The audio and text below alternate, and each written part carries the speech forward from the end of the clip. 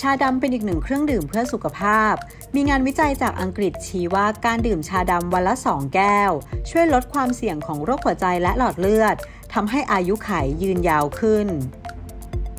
นักวิจัยจากสถาบันมะเร็งแห่งชาติของสหราชอาณาจักร ใช้วิธีเก็บข้อมูลเชิงสังเกตจากประชาชน 500,000 คน ที่มีอายุระหว่าง 40-69 ปี ผู้เข้าร่วมถูกขอให้ตอบแบบสอบถามที่ครอบคลุมข้อมูลด้านสุขภาพไลฟ์สไตล์รวมถึงพฤติกรรมการดื่มชาในแต่ละวัน นักวิจัยใช้เวลาอีก 11 ปีในการติดตามผลจากพฤติกรรมด้านสุขภาพของพวกเขา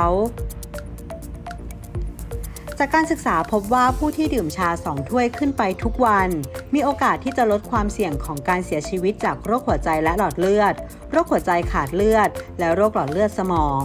โดยความเสี่ยงของการเสียชีวิตน้อยกว่าผู้ที่ไม่ดื่มชาเลยถึง 13เปอร์เซ็นต์สาเหตุที่ช่วยลดความเสี่ยงต่างๆ เป็นเพราะว่าชามีสารออกฤทธิ์ทางชีวภาพ สามารถลดความเครียดและการอักเสบ ซึ่งเป็นการป้องกันสุขภาพจากโรคหัวใจ ส่วนการเพิ่มนมหรือน้ำตาลในชาแก้วโปรด อาจไม่ส่งผลกระทบต่อสุขภาพอย่างมีนัยสำคัญ แต่ก็จำเป็นต้องคำนึงถึงเรื่องปริมาณน้ำตาลและไขมันอิ่มตัวจากนมด้วย รคหลอดเลือดและหัวใจมีส่วนในการฆ่าชีวิตของผู้คนจำนวนมากทั่วโลกในแต่ละปี โดยเฉพาะในคนสูงวัย การป้องกันความเสี่ยงที่จะก่อให้เกิดโรคที่เกี่ยวกับหัวใจ ช่วยทำให้สุขภาพโดยรวมดีขึ้น ร่างกายก็แข็งแรงขึ้นด้วย และจากการศึกษาครั้งนี้ก็ยืนยันว่า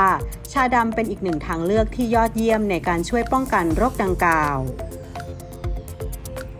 แม้งานวิจัยจะไม่ได้ชี้ชัดว่าการดื่มชาดำช่วยป้องกันการเสียชีวิต แต่สำหรับคนที่ชอบดื่มชาดำก็มั่นใจได้ว่า ชาชนิดนี้ดื่มแล้วดีต่อสุขภาพอย่างแน่นอน อย่าลืมกดติดตาม TNN Health ทุกช่องทางออนไลน์ เข้าถึงทุกสาระสุขภาพ เสริมภูมิคุ้มกัน รู้ทันโรค